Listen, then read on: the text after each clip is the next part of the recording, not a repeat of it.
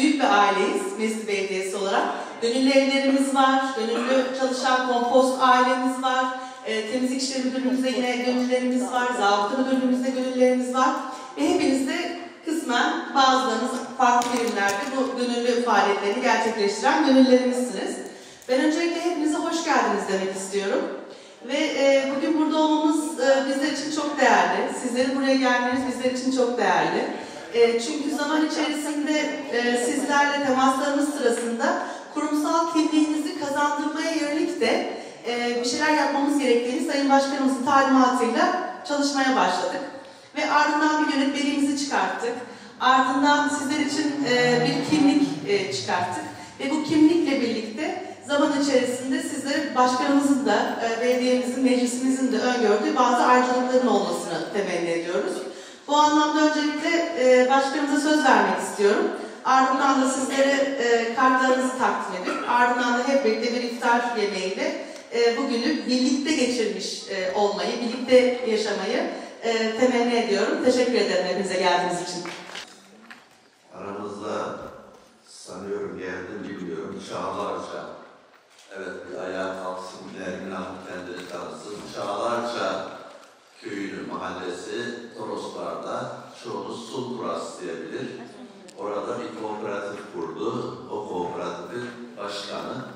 Ben kendisinin de gelmesini istedim. Hem bizim diğer kooperatifteki arkadaşlara böyle gel isterseniz. Tanışmasını istedik ve bu kooperatif olayını da daha da büyüterek çoğaltmak istiyoruz ve e, hep istediğim arzuladığım Mersin'de yedi tanesini bir araya getirebilirsek bir Mersin'de bir tarımsal amaçlı kooperatifler birliği kurdurmak ve bunu da Türkiye'ye duyurmak istiyoruz. E, çok iyi çalışıyor arkadaşlarımızla. E, onlar e, kilisiyle meşhur. Yine bizim baştan beri desteklediğimiz Sorinova Kadın Kooperatifi Başkanı ve yönetici arkadaşlar burada. E, Kent Konseyi'nden gönüllü olan arkadaşlarımız var. Kompost gönüllülerimiz var e, işimizde. E, en küçük Mina var burada. Nerede Mina? Ayağa kalk bakalım görsünler. Misa var. Ayağa kalk görsünler. Ee, herkes, hepiniz tabii çok değerlisiniz ama e, hakikaten özellikle adını e, özel anmak istiyorum. Salman Bey geldiyse nerede? Burada Yine geldiyse Kemal Eyle burada mı? Bu arkadaşlarımız tanımayanları varsa Salman Bey tarımsal üretimler serayla e, tek başına e, herhalde 8-9 yıldır yaklaşık mücadele ediyor. Çok güzel çalışma yapıyor ve ürettiklerini de aşevine veriyor oradan. E, mükemmel çalışan bir dostumuz hakikaten. Kemal Eylem Bey aynı şekilde e, gözüm hiç arkada kalmadı. 8-9 yıldır aşevimizi tek başına idare ediyor. Daha bir gün bir şikayet olmadı, bir gün bir tek tane de olmadı kendisinin ve yoksul kesmede evlerine yemek ulaştırıyor. Ee, çok başarılı çalışma yapıyor. Ee, umarım bu isimleri çoğaltırız. Tabii daha birçok var. Olur geldi mi bilmiyorum. Belki çalışmadadır o. Hepsi, hepiniz tabii tek tek alkışlanmaya değersiniz. Bunu kabul etmek gerekir. Siz kendiniz alkışlayın.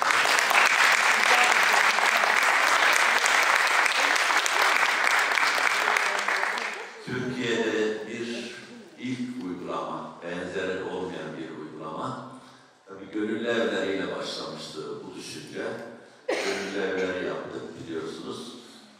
Gide gide tabii şekli değişebiliyor. Tam istediğimiz olmayabiliyor bazı şeyler ama bu gönüllü evleri de bu gönüllülerin yeri zaten. Ee, adından da belli, daha önce biliyorsunuz. Orada da çalışan gönüllü arkadaşlarımız var. Ee, idare eden or- oraları. Ee, hiç kimse hiçbir menfaat beklemeden, hiçbir ücret beklemeden, hiçbir başka beklentisi olmadan e, çalıştı. Gerçekten Mersin'de, tabii Türkiye'de aslında bir destan yazdınız. Her yerde sizi gördük. Pandemide gördük. Müthiş bir çalışma yaptınız. E, Bunu kabul etmek gerekir. Geldiniz burada yoğun şekilde çalışma yaptınız. Ve pandemi döneminde Mezitli'de en iyi şekilde o süreci geçirmemize sizlerin çok büyük katkısı oldu. Yine bu deprem sürecinde e, gerek deprem bölgelerinde işte gittiniz, oralara yardım ettiniz, gidiniz. Yine buradaki yaklaşık 140-150 bin deprem bölgesinden gelen vatandaşlara e, gıda yardımına, giyim yardımına kadar her türlü onlar hazırlıklarını aşağıda yaptınız. Hiçbir şey beklemeksizin. E, gerçekten başarmışsınız. Çok zor Türkiye'de. Bunu proje bağlamında tabii sorumlusu belli bir süreden sonra böyle yaptık. Betül Hanım'a verdik e, proje bazında. Çünkü yurt dışında gittiğimiz zaman o, o da benimle beraber gördü bu tür yerler, bu tür evleri gördü. E, bazen söylediği gibi mesela Almanya'daki aklımda gönülleri demiyor. Ama gelişmiş ülkelerde tabii ki bu sosyal devlet tam olarak oturmuş durumda. Bizde de anayasada sosyal devletler ama sosyal devlet ilkesi yerine getirilmiş değil tabii ki. Sosyal devlet insana doğrudan dokunan, dışlanmış insanlara özellikle ötelenmiş, ötekileştirilmiş insanlara bir şekilde dokunan ama biraz da ekonomik olarak da hiç olmazsa bazı gereksinimlerini karşılayan bu insanların bir devlet ve tabii bunu belediyeler aracılığıyla yapıyorlar orada. E, gelen arkadaşların ulaşım masrafını, e, yine yemek masrafını karşılayacak gibi değişik uygulamalar var. Bunu devlet karşılıyor, belediye karşılıyor aslında. E bizim böyle bir imkanımız yok. Eğer bizde böyle bir imkan olsa ben biliyorum ki bugünkü bu gönüllü ordusunun sayısının kaç bin olacağını düşünüyorum. Yani beklenti olmadan bu kadar oluyorsa. Orada tabii puanlama usulü var mesela.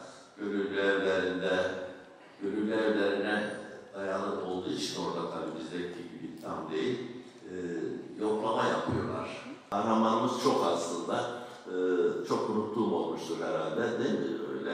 Kafe, e, Male kafede bir hanımefendi var, geldiğini bilmiyorum. Peki, haber veremedik. Onlar kamp, kompost gönüllülerimiz e, en son İskenderun'da, İskenderun'da Ebru Barbara arkadaşımız var bir aktivist. Onun öncülüğünde günlerdir, haftalardır yüz binlerce insana yemek veriyorlar. Kendisi de bizzat başında durmak üzere Ebru Hanım. Bizim buradan da arkadaşlar gitti. Yine sizler de gidebilirsiniz. Organize ederseniz orada kalma durumu falan nasıl oluyor bilmiyorum. Ebru Hanım'la görüşerek e, bir grup katılabilir. Görün istiyorum ben orayı. Nasıl inşaat mühendislerini gönderdim ben Antakya'ya. Gidin görün dedim.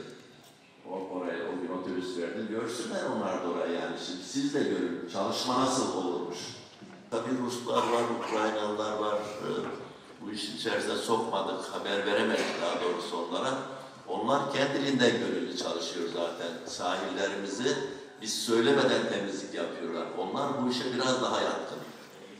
Kendi siyasi sistemlerinden kaynaklanan e, bir örgütçülükleri var. E, Gelir gelmez bir iki hafta sonra Ukraynalılar derneği kurdular. Ukraynalılar hemen bir iki hafta içerisinde. Örgütlülüğü biliyorlar, örgütlü çalışmayı biliyorlar. Burada artık ırk ve din, ülke şeyimiz yok bizim. Herkes de hep beraber bu ülkeyi gerçekten de baharı getireceğiz diyorum. Ben sizlerin sorulardan alacağım. Teşekkür ederim. Ee, Ramazan kolisi için isteyenleri lütfen nerede Dilara gör. Tece sahillerinde kendi kendine konuşan bir bayan gördüm. Ben yürüyüşteydim. İleride durdum dedim hayırdır rahatsız mısınız? Dedi Hatay'dan geldim dedi. Depremzedeyim. Durumunu anlattı. Sonra bununla bir araya geldik. Halk ve İlişkiler Bölümüne Sağ olsunlar hemen kol yardımında bulundular. ilgilendiler. Bu açıdan teşekkür ediyorum. Sağ olun.